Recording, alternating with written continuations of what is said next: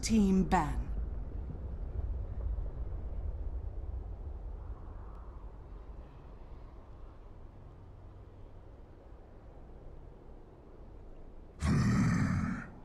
Game two, Empire going up against Four Clovers and Leprechaun after 4CL take game one.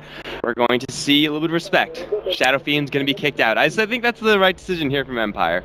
Yeah, don't give that to Pycat. He was an absolute monster in the tournament and in that game number one that we just saw played by Four Clovers. It might take Four Clovers a little bit out of their comfort zone, but I still think there are a lot of other good heroes and openings available in the pool for Four Clovers. Uh, mm, we'll, just have to wait and see what they're going to get their hands on given the next couple of bans, which we'll be seeing shortly. But still, let's just take a minute to appreciate the crowd. They've been awesome today, yeah. and yeah, just a lot of energy inside the arena, and I'll have to see if that's going to affect the play at all. I am I'm kind of bummed out that Vega Empire not the finals because that that had the crowd like Oh, the- yeah. with the most hype. Even just in the group stage. Yeah, so roaring. I mean, Four Clovers, they're they're not from around here, so you know the local crowd got to appreciate the local talent. Uh, uh, I mean, you know, local as much as that means, but uh, either way, Four Clovers still getting a little bit of appreciation from the crowd. Everyone's been super cool.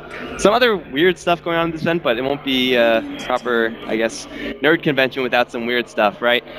Either way, we have ourselves a draft. Io is going to be banned out, and it is going to be Team Empire to first pick the Tusk. I don't think anyone should be really too surprised about that, though. Funnick did play it last time. It is still not going to be out of the question completely to see Empire put it on someone else. Four Clovers, man, you, you, you have too many. You need too many first round bans against You them. now we got really Nikwa's Darkseer again, and that opens up a whole new can of worms. And even though he did reasonably well on the Ember Spirit, I think this is much more in his comfort zone Mhm. for game number two. And this is the other opening that Four Clovers have been going for with massive amounts of success. Just having Pycat on a, a gyrocopter, a hero that benefits very greatly from having the amount of space that Four Clovers create. Um, and even without having a lot of space, Gyrocopter can kind of make his own, go for those rotations, set up some kills, and open up the map a little bit. This is a very stable, safe, and Four Clovers opening. All right, we'll see what heroes they want to grab for Bambo. We're I expect to see a lot of those uh, heroes being banned out. Tiny is still in. Wouldn't be surprised to see Four Clovers try to go in towards that as Empire. Uh, rotate things up a little bit, still not completely uh, out of the norm as it is going to be. Um, for the most part, I would expect Resolution's Queen of Pain, although we did see Play that hero once before at Moscow. It was okay, right? I mean, it doesn't really seem like a really, really big Hvost hero. At least not as much as Resolution. Yeah, I think that's absolutely fair. The flexibility is still nice going into the draft, but I'd much rather see Resolution play it. The Hvost hero, or um, excuse me, the Bamboo hero, the Team Empire, are going to go ahead and ban out is the Night Stalker, and the Hvost hero that's going to be banned out is the Juggernaut by Four Clovers. But also a special mention to Sexy Bambo's Magnus. I think Mhm. we might be seeing that in this draft. The Darkseer Mag combo, even if Four Clovers are super far behind, it's so terrifying to go high ground. That's the reason why Empire will ban that out. I feel like they had almost the exact same set of heroes. I want to say going up against Vega or something like that. It was maybe MVP, I don't know. But it was that AoE game from Four Clovers where they really switched things up, gave Bambo his Magnus, and uh, he played it very similar to a Bat Rider in that he wasn't really super greedy in how often he went for those RPs. But we saw it earlier. Uh, I mean, I'm not talking about yesterday. We obviously saw it earlier today, and that was uh, that was a little bit more consistent. And here we go, Four Clovers actually going to go ahead and grab a Viper third. Maybe Nikwa not going to be playing a Darkseer? Yeah, it looks that way. Bambo's Darkseer is very good, but it's just kind of weird after seeing this tournament where Nick was playing Darkseer Mhm. nonstop uh, to see something different. Is this a change of pace from Four Clovers? I'm not sure if I like it. Um, I think they probably could have left the Viper a little bit later in the pool, but you know what? It's a safe, secure hero, and the real star of the show is going to be the Gyrocopter, and we'll have to see how they're going to be able to support him. The support play throughout the entire tournament for Four Clovers has been on point, but also from Empire. Not to take anything away from them, Dazzle is going to be the selection. Their side is Spirit Breaker will be the choice for Four Clovers. I mean, with the exception of the swap out of the uh, Templar Assassin for Queen of Pain, uh, I mean, they don't have a gyrocopter just yet. It seems like Empire may be going for a very similar timing-based push strategy where they get a couple of items up. Uh, Queen of Pain doesn't really need items as much as she needs levels, so get that up for her, and then you know, with the sustain that you have, as uh, as much as you do have, go for that uh, that early game play. It is going to be very difficult though going to Four Clovers, who now grab up the Spirit Breaker, played by EGM. I would expect, but I would expect you know the real threat, not necessarily in the Spirit Breaker himself, but in that uh, I would expect Spirit Breaker, Darkseer dual lane which was, I mean, it is something we've seen just trounce lanes before. Empire, their supports, Dazzle, not really great up against that. You know, Tusk is perhaps a little bit better, but even then he's not fantastic. So this dual lane has the potential to just rock Empire really hard. And we'll have to see if they're well equipped to deal with it. Seeing four clovers picks, you know what they're trying to do. Just get the Viper early, farm. Gyrocopter is going to join a couple of fights, but it really is going to be in the mid game where they hit their stride once the Darkseer has um, is gold up and running. Maybe go for the blink on the Darkseer, mech on the Viper, or uh, vice versa. Uh, not necessarily the blink on the Viper, but something else in replacement of that mechanism. Um, but still, the, the, fighting potential is there. For Empire, I think they're a little bit more open-ended, even though they do have a very specific timing window where the Tusken Queen of Pain's burst potential is very high. They could shake things up, and that's one of the reasons why they're taking a lot of reserve time here, thinking out their options. Not a fan of the Blink Viper Strike initiation style. Dude, you know what? Gotta land that Viper Strike. How are you gonna kill Queen of Pain once she blinks away from you? You blink you after blink after her. There you go. we're, we're forging the meta over here, guys. It's definitely, definitely what Four are going to be doing with this Viper. But uh, yeah, for Empire, uh, I think it is a little bit of a question of what they want to do with this Tusk. They're going to grab a Winter Wyvern. Uh, I feel like this happened before in a certain series uh, with Four Clovers and Vega, where they had the Dazzle, had the Winter Wyvern, then just didn't have enough early game fighting. The last hero it, I expect to be Hvost's hero needs to be someone who actually can get online super, super quickly. And uh, Empire have been known to run Luna in the past. That like maybe that's not the best pick here up against what Four Clovers are running, but they need someone not Slark really, who just got smashed uh, when Vega played it. This is a really hard selection for Hvost. I don't see a hero that comes immediately to mind that's going to fill the role of the gyrocopter or the juggernaut, which I think are the ones that you'd want to put a boast on in this situation. Do you think Empire are going to go for something completely off the wall here? You know, I mean, the Huskar is already banned out, so how off the wall can they get? Maybe a tiny or something like that. You get the avalanche toss combo. Still, it's awkward having a melee hero up against what you would expect to be a Spiritbreaker Darkseer dual lane. Things get really sticky there, but uh, I don't know. The Empire supports, they can keep someone alive for a hell of a long time, but even Embrace in this game not really that good. Like, it protects you up against Viper, I guess, and Gyrocopter down the line, but still, Gyrocopter's magic damage is insane. Viper's poison attack does do quite a bit, especially the uh, his ultimate. And then you have Darkseer with, I assume to be double Ion Shells on the Spiritbreaker and himself. Embrace can only do so much. As Four Clover's last pick, Vengeful Spirit, most likely gonna hand that one to Saxa, give EGM that cow, and I mean, it's uh, we saw an amazing display from Saxa in the last game, and I don't see any reason why it's going to be any worse this time. Empire is still very single target focused with the Winter's Curse, with the Tusk's initiation. Even though they have a good amount of AoE damage to throw into the mix, their control is not nearly as impressive as something like a Vacuum from the Darkseer. They're lacking that kind of setup tool for them, and anything larger than just a, a 2v2 situation, I want to say. It's going to be very difficult for Empire to pull this one all together with one hero pick. The other option, of course, is to throw a Boast on the Queen of Pain and pick something different for Resolution, but do you really want to do that when Resolution is going to be going up against a Viper matchup? Yeah, I mean, we've seen Resolution play a Meat Invoker earlier, and that does have some merits up against the likes of Spiritbreaker, but your matchup's going to be a little jank. Here we go, the Wolf. All right. That is, first of all, the first one we've seen. There's that I, in the entire tournament. I want to say, like, even going back to the qualifiers, I haven't seen much like in maybe like one or two games, something like that. But uh, outside of that, Lycan is here that actually enables Winter Wyvern Dazzle, much like the Luna, even though he himself is going to be in a kind of clunky position where he's going up against ion shells and such. Uh, being able to give these range supports a little bit extra damage may just be enough. Yet, even with this Lycan pick, I'm concerned that Team Empire will not have enough once Four Clovers get a mechanism up and actually decide to group up around this first call down. Yeah, it's going to be very difficult for them, but also you get the access to the Wolves plus the Heal Bomb combo from the Dazzle, which we've seen mm-hmm. a lot in this tournament do massive amounts of DPS. So it definitely could work, but if Empire at any one point fall behind, I think the innate teamfight power coming out from Four Clovers is going to be really difficult for them to manage. Uh, we'll just have to wait and see. When Lycan's ahead, he's one of the scariest heroes in Dota. You're just going to lose all of your structures like that. But if you're behind, he's a bit of a kitten. Four Clovers, they are a game ahead. They're going to give Bambo the Darkseer instead of Nikwa. Nikwa's going to be playing the Viper. Sax is on the Avenger Spirit. Pycat is on his Gyrocopter. EGM is going to be playing the Spirit Breaker, and it seems like they may be running into Empire right now.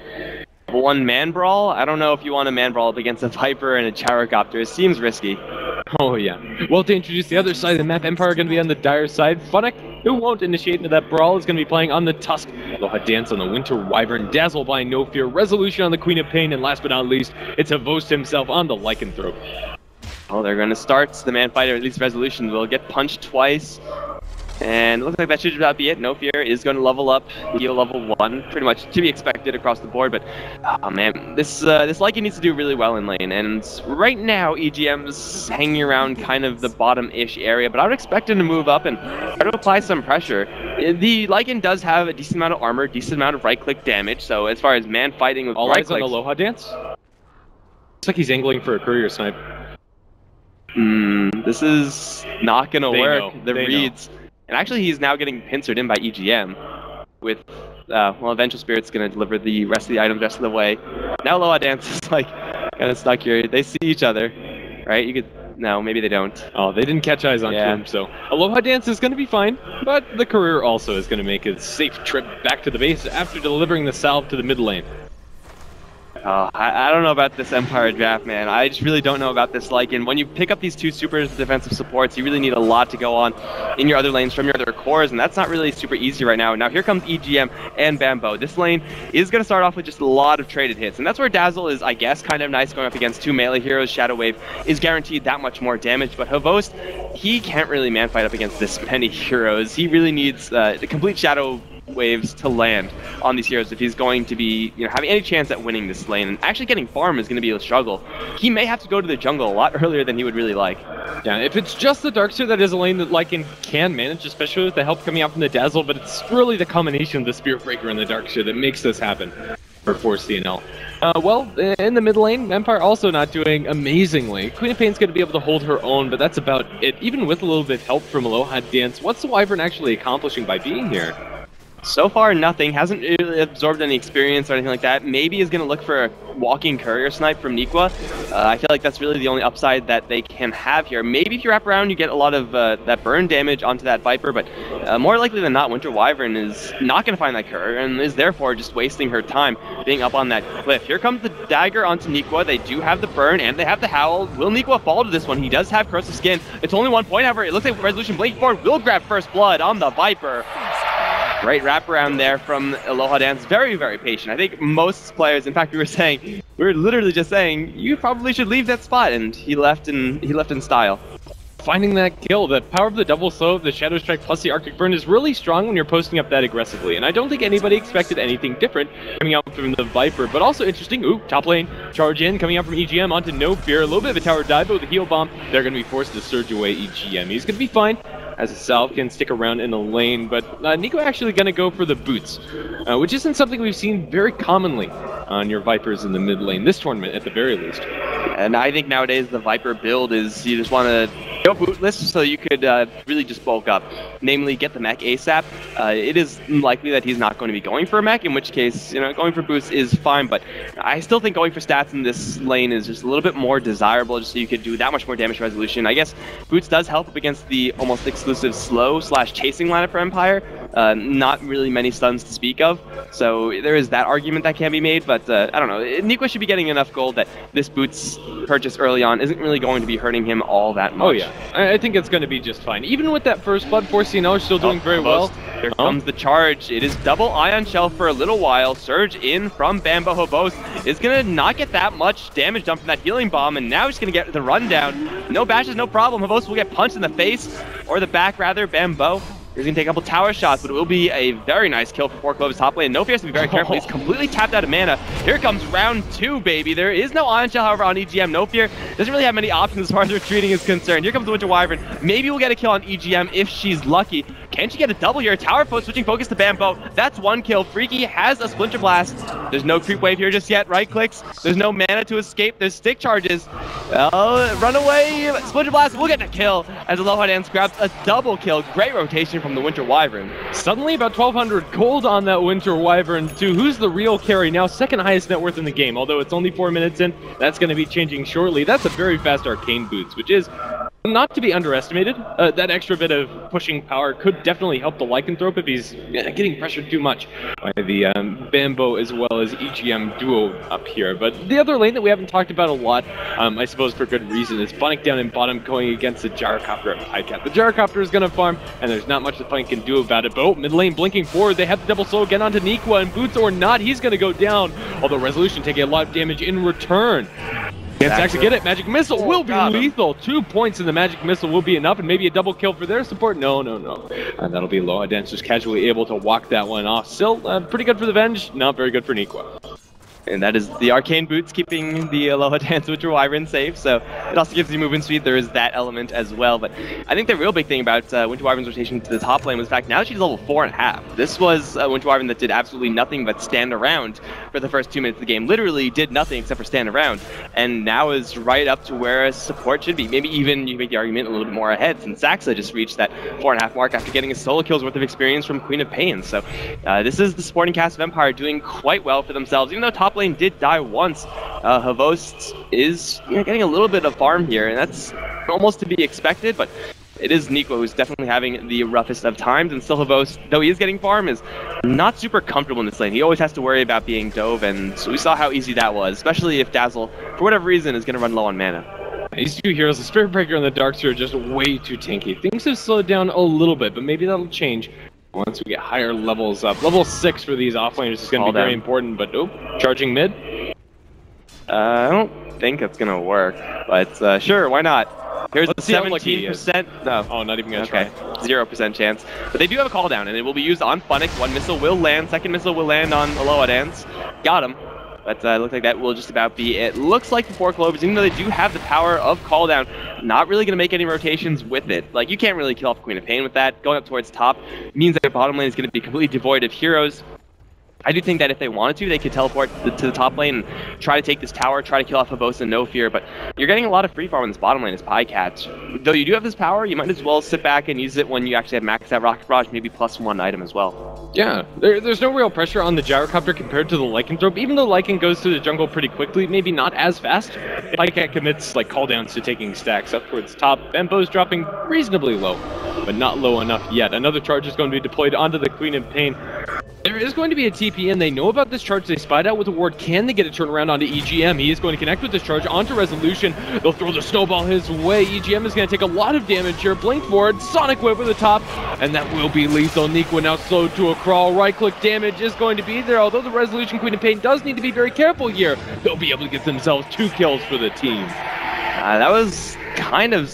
I want to say the fact that he was spotted should have been known to Four Clovers. Like you charge away from the top lane, you can assume that maybe like there's a wolf scouting around or something like that. Or I mean, it's not maxed out just yet, but there's a wolf scouting around. There's the random observer ward in the river or something. That was a very ambitious attempt from the Four Clovers side, and this is kind of uncharacteristic for them to go that ham. You have them to go ham, but I mean that's kind of suicidal going into tier ones up against a Queen of Pain who ju- can't just blink out. You have to burst her down, and you have to get a bash to do so. So, like the kill to start off with was probably not going to happen. EGM is going to charge back up towards top now, but uh, it is bottom lane with Pycat. Call down onto Funnick. One missile to land. Second missile, Rocket Barrage. Funnick is going to go towards Pycat. There's no more Rocket Barrage active. Funnick, will he live through this? He will not, as the Winter Wyvern does come in, slows down Pycat just a touch. The escape route for the Gyrocopter involves running through the Queen of Pain, so Pycat's definitely going to die here. An expensive kill for the Four Clover side. Already Resolution is on top. Rebos. Shallow Grave will keep him alive for a little while. Wall gets deployed by Bambo. Magic Missile in this instant double. EGM is going to hide in the trees. He'll be fine as the Wall Illusion's now going to help him take this tower. Maybe not. And we've seen a couple different builds from the Vengeful Spirit in this tournament, but the last one that Saxa went for, as well as this one, is featuring Magic Missile pretty heavily. And that nuke is helping secure a couple extra kills. The kill score right now is very even, 6 to 7, in favor of Empire, in fact, but 4CNL are still out farming the enemy when it comes to just the raw CS that they're able to get on the map.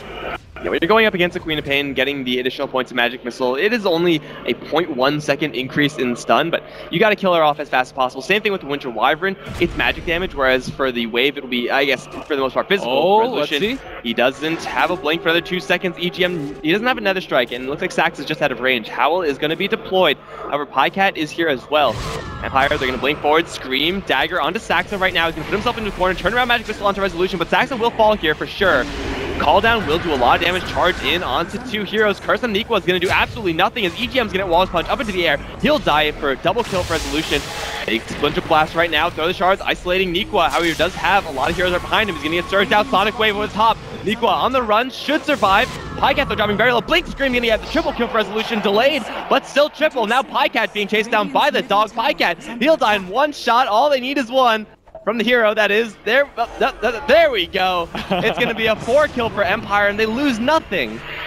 Well, who cares if you're getting out farmed when you're executing these fights that well? That was really weird from 4CNL. It's one of those situations where they could have gotten out with just losing probably the Venge. I don't know, they, they stick around, they go for an aggressive charge, they're just not finding the bash luck required. to Spirit Breaker doesn't have level 6, he's far less reliable going for these ganks right about now. So 4CNL take one bad fight, and that's all it really takes. Just like that, your Queen of Pain is now well on her way towards her next item, probably going to be going towards Zags. You have the Vlad's up for the Lycanthrope, also opening up options for Roshan later down the line, and in general, just a good pushing item for Empire to transition those fights into tower pushes, which as of yet, they haven't been successful in doing so. And this is also Empire not really being assertive in how they get these kills. Like, they're definitely following up when there's opportunities, a couple of wraparounds from Winter Wyvern here and there, but you can't really do that much with the Dazzle Winter Wyvern if you're looking for these kills. For the most part, it's been Four Clovers diving a little bit too deep, going in for charges that they shouldn't be going for in the first place, and that is really what's putting them in a bad enough position so that Empire can just play their responsive game. That really, really gets rid of the weakness of Dazzle and Winter Wyvern as the support duo, and really lets heroes like Lycan and Queen of Pain, who are really adept chasers, to hit their stride and do that much more work in those fights. So it is almost as if Four Clovers, they're the ones that are giving these kills away to Empire, not Empire earning these kills from Four Clovers. I'd even say that's their biggest strength as heroes, just being able to respond after getting dove into. Gyrocopter will get the tier 1 tower destruction up towards top as Bambo will cut the creep wave. Bambo might be in low trouble. They have the Winter's Curse. It is going to be fogged out. Bambo's still trying to run away. Oh, but here's the Invis Resolution. Going to drop this, uh, excuse me, just the screen. And then walk away. They won't be able to secure that Darkseer kill. He'll be fine. Everything is going to be dissolved. Mechanism call down is still a timing that Four Clovers can hit. It is uh, completed on the Darkseer. This is uh, just a mechanism. Yes, it is going to be completed. And they do have the call down level 1 swap back onto Aloha Dance. Call down with Rocket Barrage. Will this kill off the dragon? Not quite. Right clicks are going to be doing a lot of damage. The teleportations are coming in as Aloha Dance is going to live really a while longer as No Fear does arrive. Pycat in a little bit of trouble. His resolution does not have a mana for a Sonic Wave. Will get dropped to the Magic Missile. Mana miscalculation there. Saxa diving for for No Fear. Grabs the kill. No, Gyrocopter's Flak Cannon actually, I think, gets it. Now Saxa looking to drive away Aloha Dance. I don't know how the Winter Wyvern lives and no one else does, but it's still a two kill for four clovers. And Bambo, what the hell are you doing, bro? Get out of the tower range. Ah, he's fine. Oh, may not be, though. Charge is coming in. He does have a snowball, so he can dodge it, but he doesn't. Now with the Nether Strike, he's going to get Nether Struck in two ways. Viper Strike and Nether Strike. Feels bad, man. Viper is going to grab that kill. Three kills now for four Clovers, and now their timing is almost being forced upon them. This is looking pretty good for 4CNL. There probably wasn't enough time for the Tusk to turn for that snowball, and they're just not finding very many good uh, initiations. The Queen of Pain, we saw this from Resolution last game, is blinking in melee range to Pycat. Uh, this time it's against a Gyrocopter instead of a Shadow Fiend, but the situation is still the same where Pycat's doing so much DPS if you're that close to him, and it is going to cost Resolution dearly, especially with that slight mana miscalculation. Bottom lane, Wyvern going Arctic Burn and should be just fine for now. He's going to get jumped. Snowball in is not going to connect. Funnick has a Walrus Punch with the Sonic Wave. Not quite going to do it. Nikwa, though, will fall eventually. Darkseer arrives, looking for the mechanism heal, but it comes in a little bit too late. In fact, didn't even have it available. Gets caught on the shards. Mm, a little bit of damage here and there, but it's just another nice, easy kill on Nikwa, who has really been struggling on this Viper. I mean, we got, you know, really big, large amounts of damage coming out from this Gyrocopter. Darkseer has his mechanism. Viper has very little. In fact, compared to the Vengeful Spirit, they're almost neck and neck when it comes to net worth. This is a combination of the Vengeful Spirit being very farmed and Nikwa not being very farmed. Sax has a completed drums for the team. Jeez. Sax Avenge, dudes. I mean, I definitely didn't oversell it last game. He played out of his mind. I didn't expect a almost exact repeat performance. Uh, he still has more than the enemy Tusk, which is holding true from last game. The sad thing is that he almost has more than the allied Viper, which is actually pretty bad for four Clovers. But either way, Drums of Ancient Spirit, carry build incoming. For sure, that's what we're going to see. Uh, you don't really need Scepter as much in this game or anything like that, but still uh, going for Solar Crest, getting Pycat to the uh, to the front lines with that, and or Nikwa seems like Saxa has his game cut out for him. Seems like he might have just a free roll Vengeful Spirit game. Yeah, would be really nice for him. However, on the Empire side, they're not doing too bad when it comes to farm either, especially Hvost, who's been left alone with some quality time around the Ancients and inside the woods. Now actually almost neck and neck with Pycat when it comes to net worth, just shy of 100 gold behind him. Now we see this timing push maybe coming into play for Clovers. They are perhaps a little bit worried about being split up towards top. They're going to smoke up. Uh, they know where everyone Empire is. Well, there's the line that's going to be drawn. I think it's the only possible line that could actually grab anyone, but I don't think Empire are actually going to go that direction. They know that this is the safest position. It's nothing but safe right now. So just chill. Pycat has double damage rune for a little bit. That smoke is not going to find anyone. They know, I mean, Empire they know where four clovers are, and four clovers know where Empire are, so this smoke is not gonna. Again, it's like weird to see them do this. Yeah, even though they don't see the smoke, they saw the rotation into the lane with a very deep observer ward that was placed down. Um, oh, EGM though. Dance. Yeah, this is a deep wraparound. They're gonna find Funnick at a really bad angle for the Tusk. He's gonna vacuum into a charge. That should make it do more damage or something with the momentum, but that is not what Funnick wanted to see. Completely surrounded, uh, off of being completely surrounded by his own allies. Now here comes the shapeshift from Hvost. They have a Winter's Curse right now. Aloha Dance looking for it. It's going to land on no one just yet. Splinter Blast will be thrown first of all. Hvost' ultimate timing out very quickly. Now at half duration, so far has done nothing with it. I mean, Empire, they've lost its husk. They still hold control of this tower, so the push isn't really going fantastic for Clovers. But outside of that, Empire now don't really have any ways of defending without the Lycan ultimate. Gem's going to charge down towards bottom, cancel that one. He was spotted out by a ward, at least gets a TP out from Aloha Dance. This is just such an interesting posturing game from both sides, without very many huge engagements. But a tier 1 tower mid is going to be pressured by 4CNL. Probably taken. Let's see. Empire aren't in the greatest of positions to defend here, as Resolution's been pushing down the bottom lane, and both is just farming it up inside the woods. So this is going to be a conceded tier 1 for 4CNL. Not too awful for Empire. They are still getting that farm trade the other sides of the map. Uh, this is looking kind of like Shades of Game 1, maybe not to the same degree, but Four Clover is definitely in the driver's seat for right now in Empire. Farmed up Lycan, I'm not really sure if that's going to necessarily be enough. Uh, Four Clovers do have a couple of great tools up against Lycan, Magic Missile, namely Nether Strike, Charge, all good tools just stalling him up. Maybe the Viper not really great up against that Wolf, but uh, for right now, it seems like this game is becoming more and more and more of a Hvost game, one where he has to get a lot of farm, he has to get a lot done during the duration of a shapeshift, and at the same time, time not take any of the stuns. It's a lot to ask from that one hero, and Empire, they're just not getting that much done with anyone else. Like, even Funix kind of is unbuilt destructing that, going for Mechanism. Yeah, which I think is a fine choice, but he just doesn't have the mechanism fast enough compared to the Dark Darkseers, who's been sitting on his mech for about six minutes now. Yeah, Funnick probably going to have his about 19 or so. Who knows? It might be longer than that. 4CNL, even though they are behind kills, do feel like they're in the driver's seat, and a lot of it still comes down to the items on the supports. Vengeful Spirit now, presumably going for a Glimmer Cape next, or whereas you compare to the Dazzle on the enemy side, he has Brown Boots 1. That is absolutely it for him. And well, Wyvern, Wyvern has, win, win, uh, Glimmer Cape. That's not bad. That's at least something. Mm -hmm. Yeah, yeah. But then you also have farm on the Spirit Breaker too, is pretty darn tanky on EGM. So it does add up eventually. Definitely a support battle right now. Like these supports are going to they I mean they I think made or braid made or break broke English the last game. And it's going to be very similar in this one. Perhaps not to the same extent, but uh, for sure, at least the Vengeful Spirit and Winter Wyvern being very similarly farmed going to help them a lot. Close going to get charged. He's still shapeshifting though. EGM gets a lucky bash and Hvost is just going to book it. Second shapeshift in a row, used purely defensively, or at least not offensively, let's say. And it will be tier 1 to drop up on top. However, bottom lane is being shoved really, really hard by Clovers.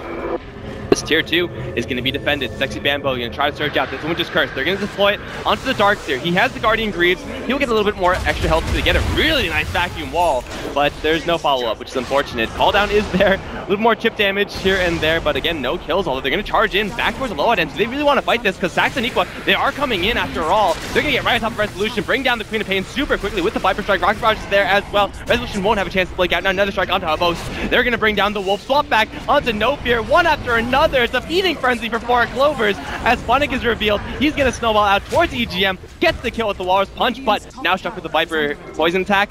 Like it's not enough to capitalize off of. They'll get a four for two. Oh, won't lose Saxa either. Gain the tower.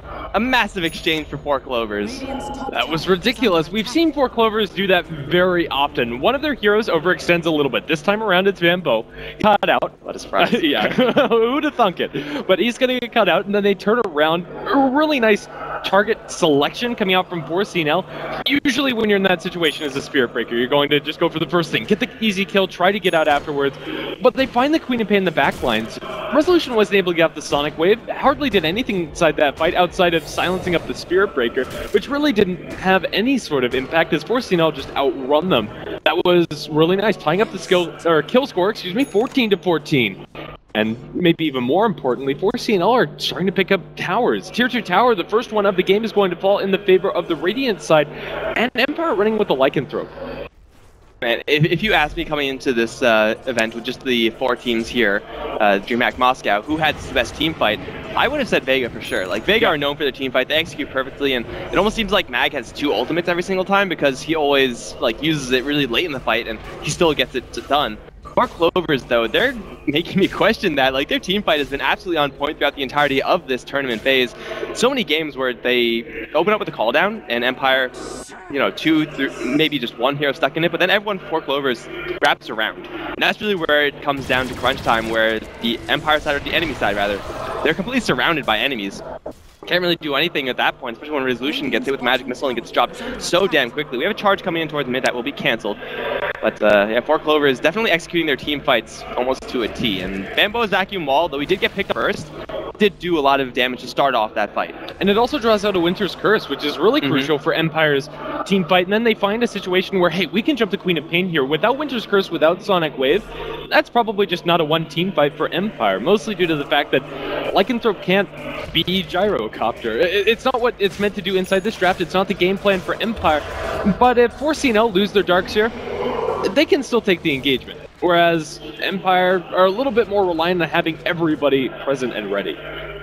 GM's just charging around, trying to make some people scared, forcing out something, whether it's a TP or a shapeshift. You know, these are not the biggest cooldowns in the world, but these are cooldowns that Empire desperately need to have in order to fight.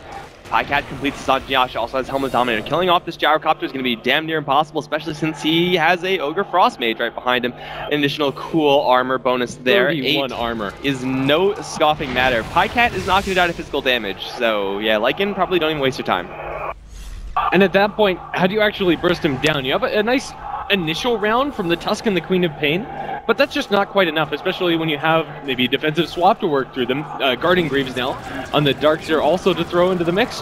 It's going to be a really hard sell, and Pycat's going to be able to get multiple rocket barrages off inside these fights.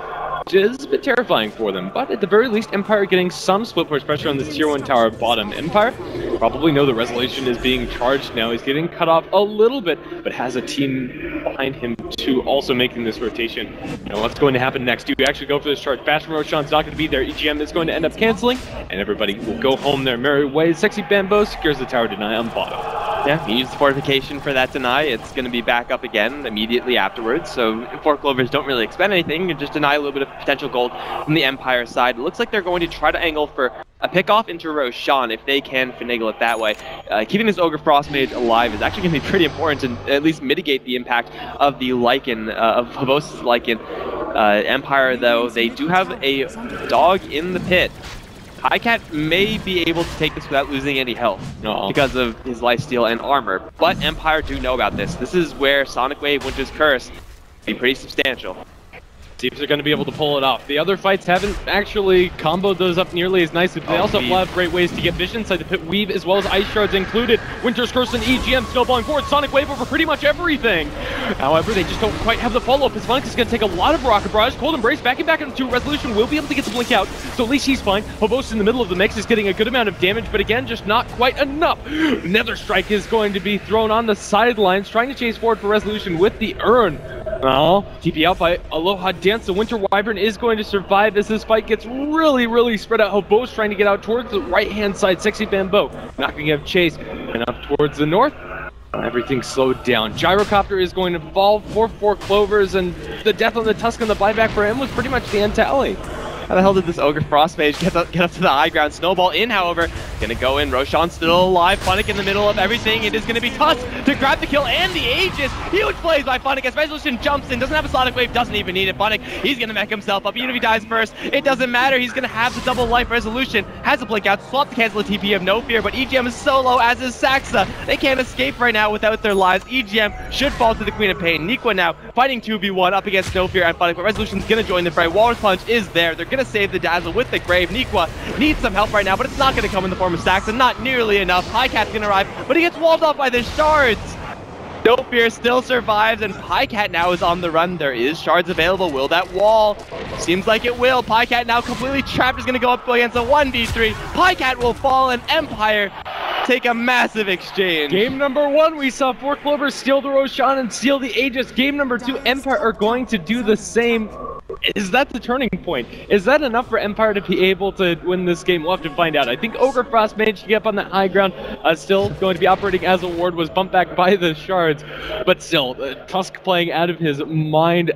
I didn't expect him to get the Aegis. I didn't expect him to get the Roshan last hit, but he gets both, which is amazing for Empire. Not only is that a good fight in, or a good play inside the pit, the fight immediately after the fact was absolutely stellar. And Four Clovers lose all sorts of momentum. As now your Lycanthrope has himself almost completed Necrobook 3. Your Queen of Pain almost has her BKB and Orchid. If, as, as everything's starting to line up for Empire, it feels like they have a new lease on life. The first fight around that Rosh pit was a little bit awkward. You throw the Sonic Wave in, you throw the Curse, and it doesn't really do that much damage. Like, pretty much, Sexy Bambo uses his Guardian Greaves, and everything pretty much goes back to normal. The reinitiate after that was one where Pycat was not involved. He just was dead, so he wasn't going to be there. And Empire did find an angle off of the back of that snowball to just make a suicidal play. It could have been really bad for them should Funnick not have grabbed that Aegis. Would have definitely lost that Tusk beforehand, but for four clovers, their net worth lead. Well, there there is no more net worth lead. Lycan is now leading the way. Queen of Pain not too far behind him. Empire, they are going to have a lot of direct pushing power, a lot of direct team fight power, and uh, at the very least, this is the Aegis not in the hands of four clovers. Oh, so smoke up towards top. They're going to find Hvost. They have the magic missile open up. The rock brush and call down massive damage onto him, and with the missile connecting, Gyrocopter Oh, gets head. the kill. It's gone. Guy, it's been blown clean off. Uh, that, that if that's not dead. I don't know what is. Sometimes with missiles, man, you gotta get that splatter kill. 17 and 19. Four Clovers find a really big one. It's uh, on the hero who now has the most net worth, and it's the Gyrocopter and Vengeful Spirit to, of course, cash in on that. But for Four Clovers, I mean, they do have a lot of power right now, but it just doesn't seem like it's uh, exactly enough to go straight into these tier twos, which is what they really want to be doing at this point during their draft. Like, Pycat is absolutely stacked right now. Nikwa is pretty darn tanky with the SNY. They have the mechanism. In fact, it's now Guardian Greaves, so they have all their tools, but it just seems like after the last fight, Empire have enough to com- to repel it. I think one of the biggest things for me going into this game as we progress later is the fact that the support farm is pretty much switched, at least for the Winter Wyvern, who's now working towards a refresher orb. Aloha Dance is pretty close when it comes to net worth of Nikwa, who's only a thousand ahead of the Winter Wyvern. It feels like Viper's impact inside these fights is going to be next to nothing. It seems like he's pretty much just a big tank, and that's it. And Ascension Asha does increase his threat level to a degree where you can't completely ignore him for last. You have to throw some form of effect on the Viper, maybe you know, have the Lycan chase him down or something like that.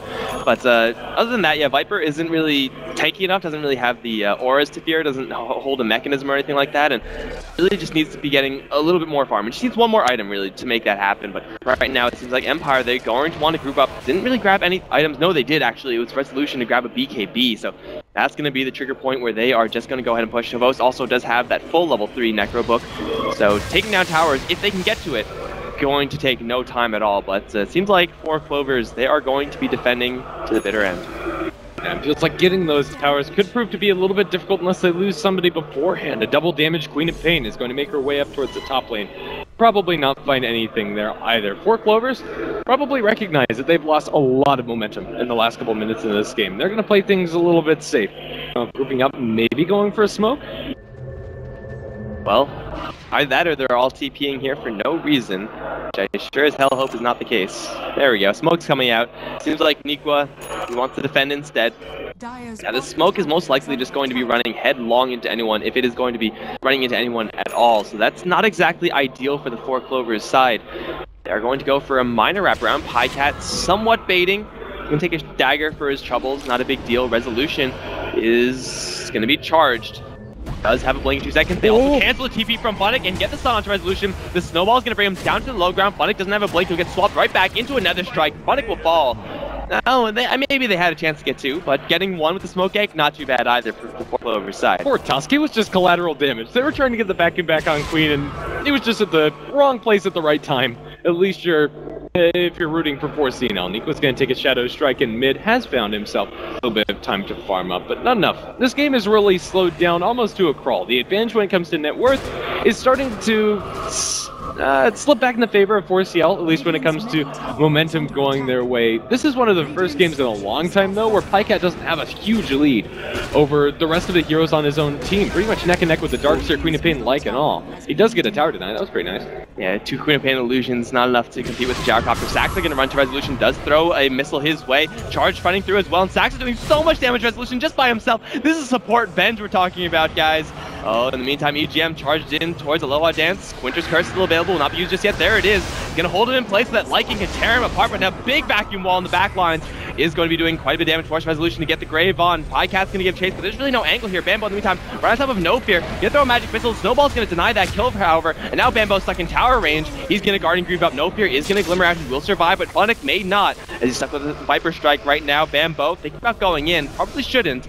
It will just be EGM to fall, but Resolution, he has to go all the way back to the base. So four Clovers may have a chance to sneak this tower. Yeah, even though Saxa isn't able to kill the Queen of Pain off there, she's at a low enough HP where she doesn't want to stick around. And that is going to get 4CNL a little bit more chip onto this tier 2 tower, but uh, not too much.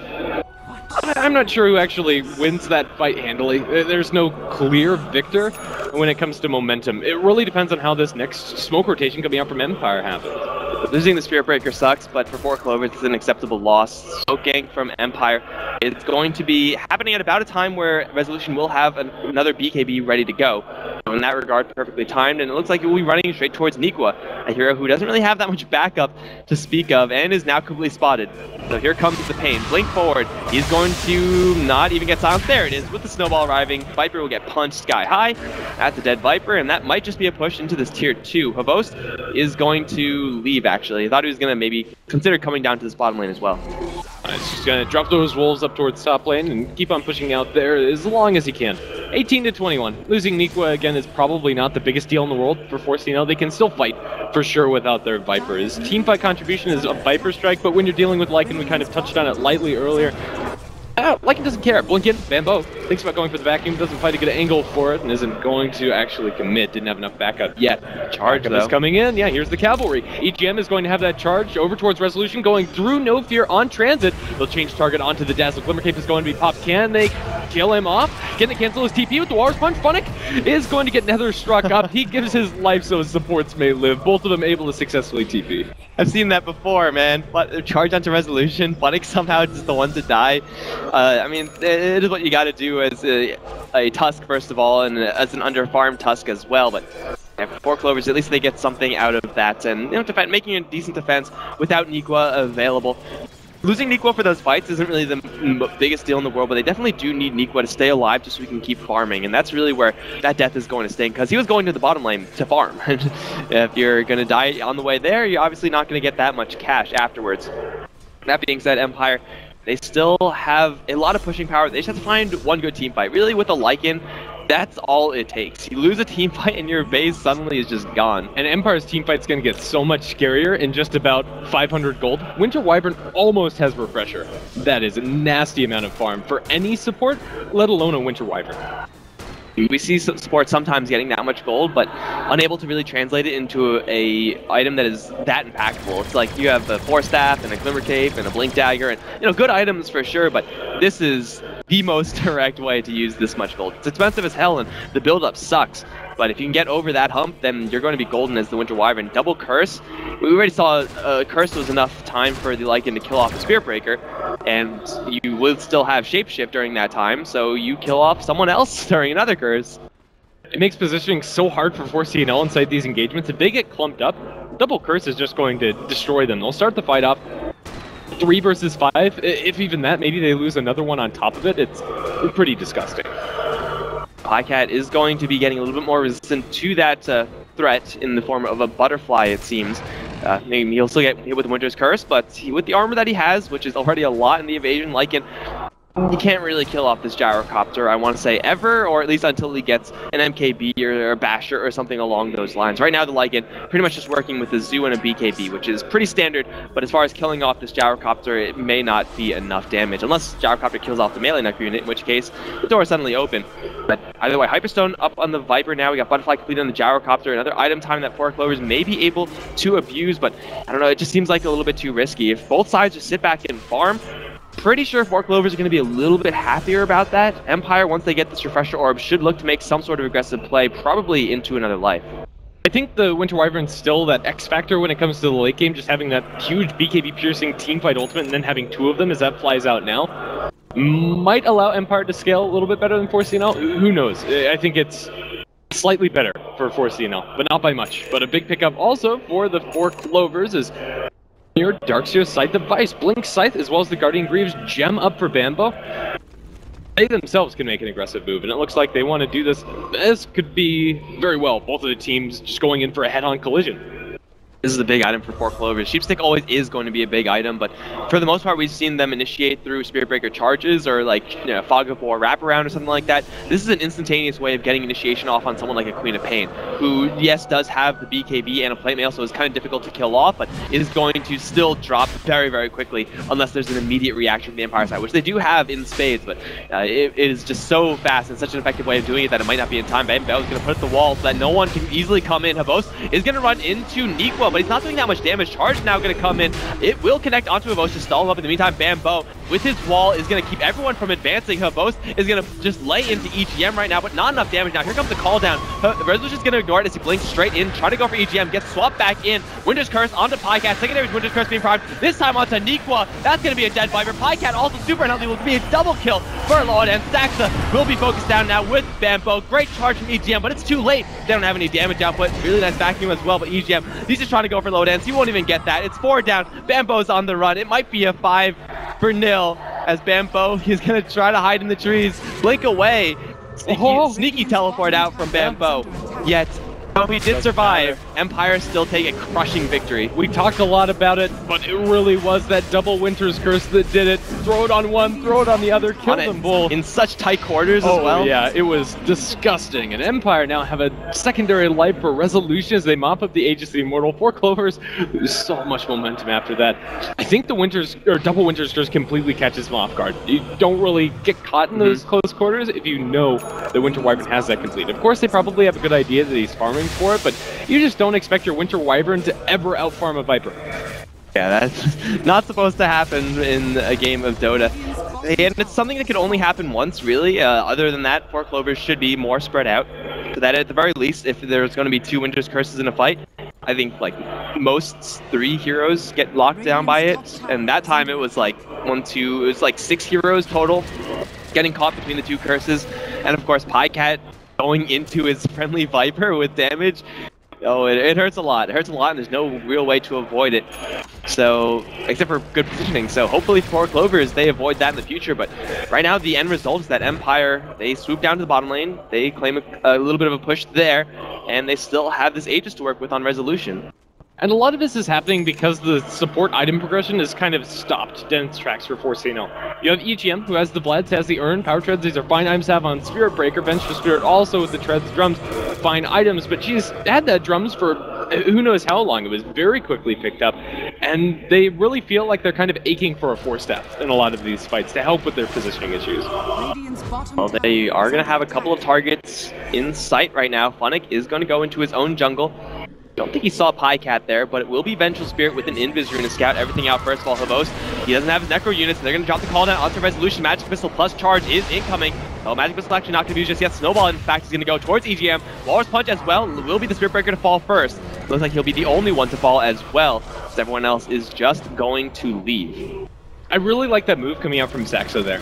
Your Spirit Breaker overcommits and you just casually walk away. There, there's no reason for you to get overzealous and try and fight that before CNL. They're playing a lot more bridled than we've seen previously inside the Game Show Global Esports Cup. 30 seconds, Refresher Orb will be up. Of course, the Aegis has a lot of effective time left on as well, and oh my god, it's a Blink Dagger double Winter's Curse. Uh, unfortunately, it's not level 3, so, you know, Freaky, get on your game. What the hell are you doing with your life?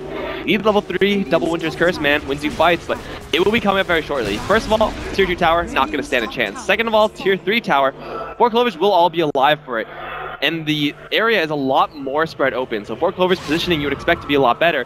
Yet that being said, Empire have so much more brute force right now. They might be just be able to sneak this tower in and then fall back. Nothing else.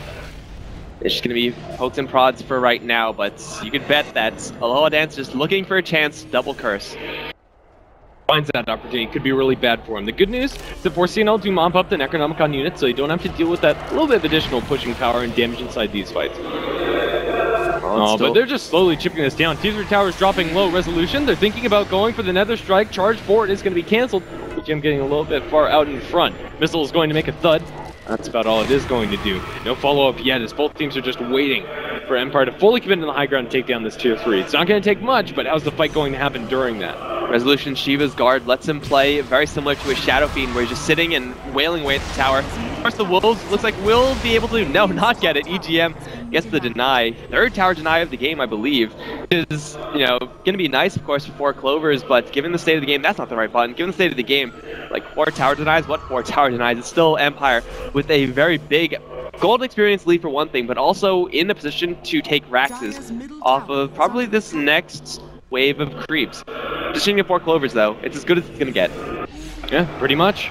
Well, charging. Uh, are they actually going to continue with this one? I don't think so. EGM is going to find himself on the low ground. Nobody's going to commit. They have to deal with their other lanes. Bottom and mid are pushing out.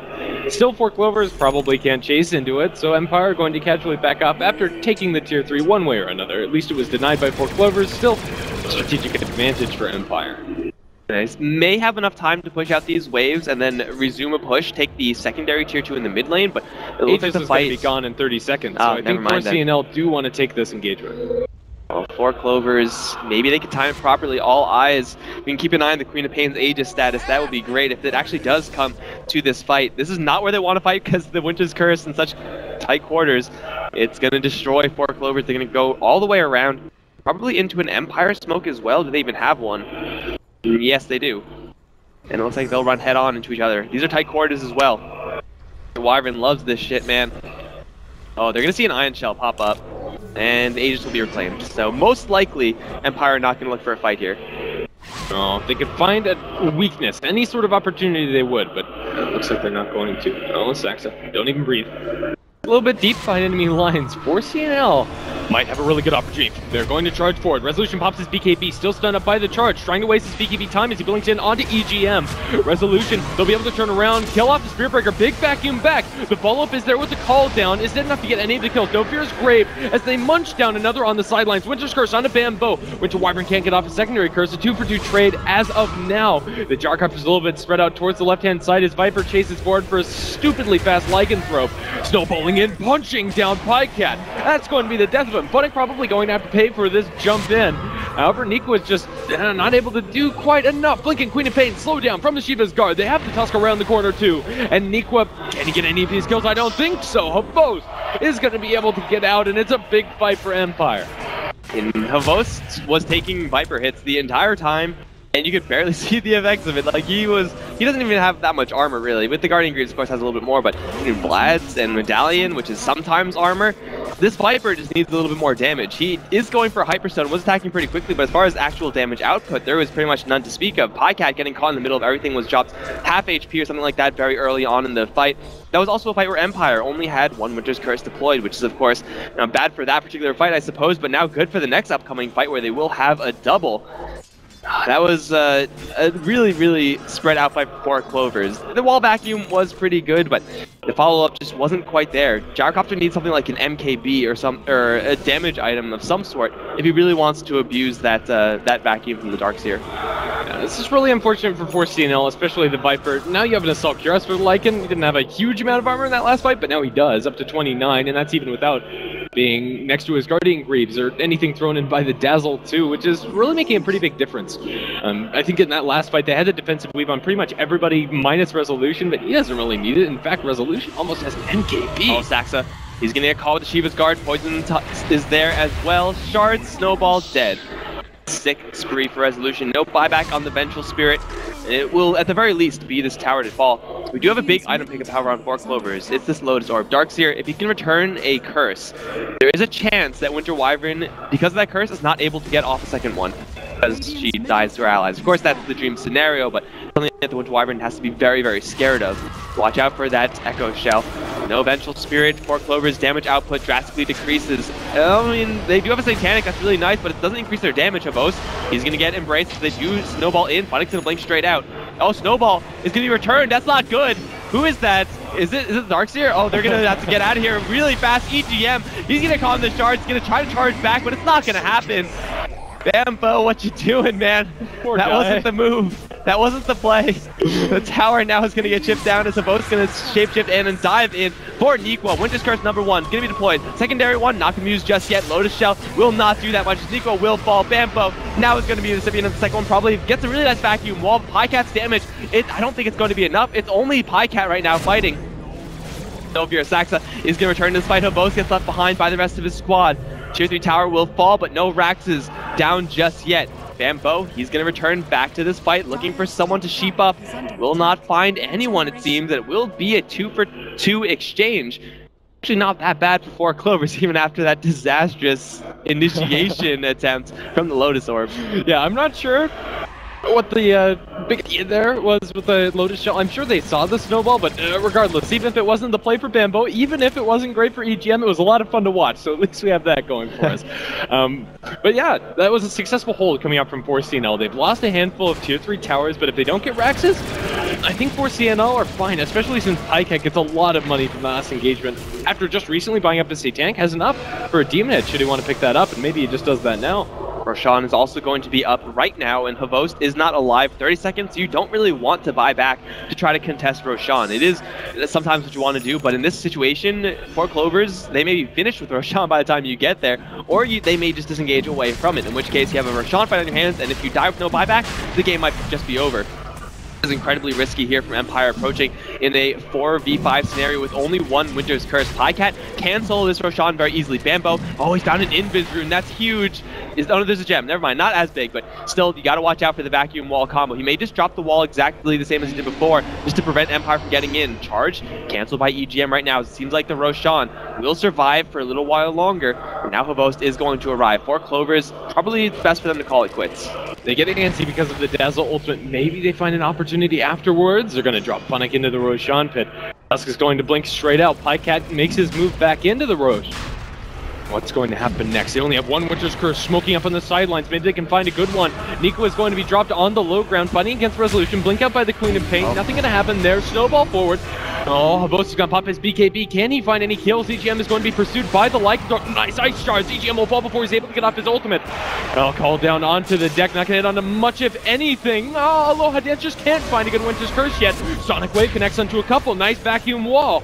It's going to land also on a few heroes, but Zax is the one to die. The damage Resolution's insane. Sexy Bambo will drop the Echo Shell, but the Winter's Curse is onto Pycat. No fear, casually able to walk back through. Is the poison damage going to be lethal? It will, but Nikwa himself also will fall. Sexy Bambo trying to run away. Empire getting momentum. Triple kill for the Queen of Pain, and now into the Roshan pit.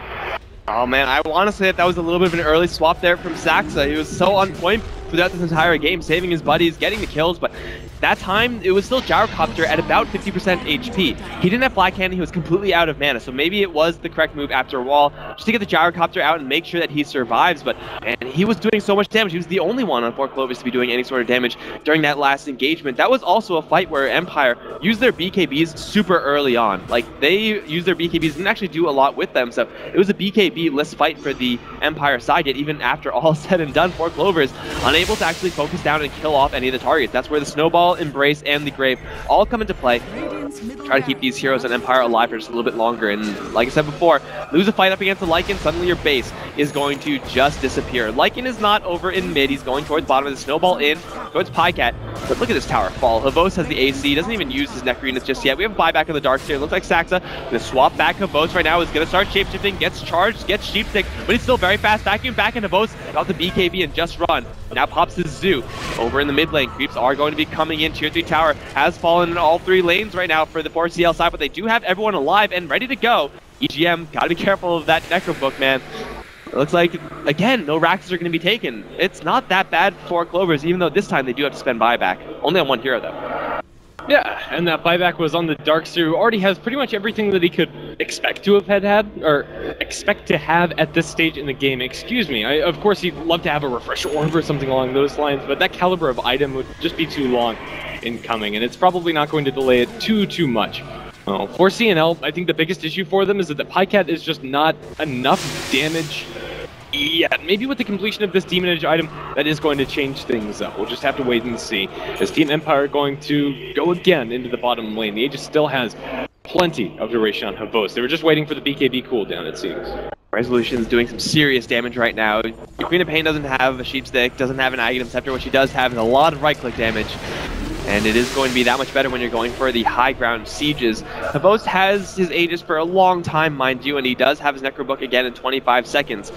So four Clovers, they will most likely have to concede range Raxes here. Uh, it will eventually die to something, I'm sure. But that's okay for Clovers. They really just have to keep control of their melee Raxes. And I'm kind of surprised they haven't lost any Raxes so far, so it's about time that this happened in this game. Call down is going to be deployed, destroying the creep wave. Also worth noting that Funnick has two gems, but on top of that, also a Heaven's Halberd, which could get pretty scary for the Gyrocopters. He has no BKB. Sonic Wave only going to clip onto EGM, be onto another hero as well, but what's important is that the range barracks is going to fall the first of the game as Empire are going to back off. But still, they're controlling all of the lanes, retreating as a team, charging forward for No Fear. Maybe he's going to be left behind. Oh, swap back, Force Staff away, though No Fear is able to get off the grave, thrown into the snowball. Funnick is going pretty deep here onto Saxa.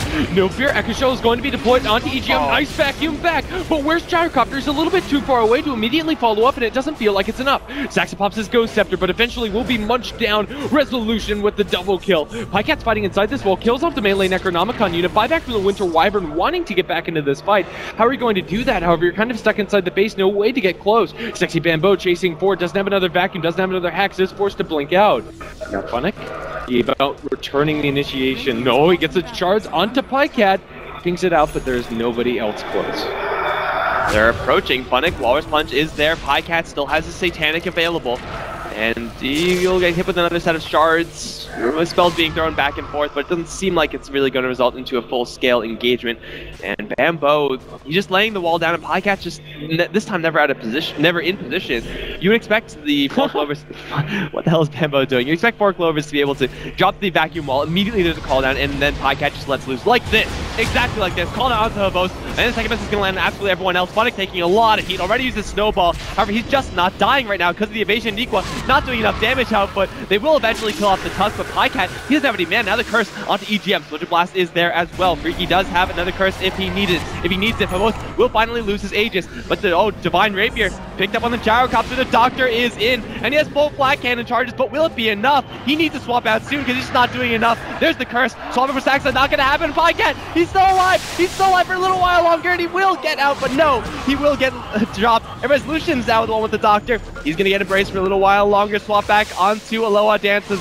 Uh, they do have another Magic Missile Resolution, though. It's going to turn and fight everyone. EGM charges through, but it's not going to be enough. Double kill for Resolution. It's going to be a triple kill. That's GG. Oh. This game, bro, this series, it's going to kill me.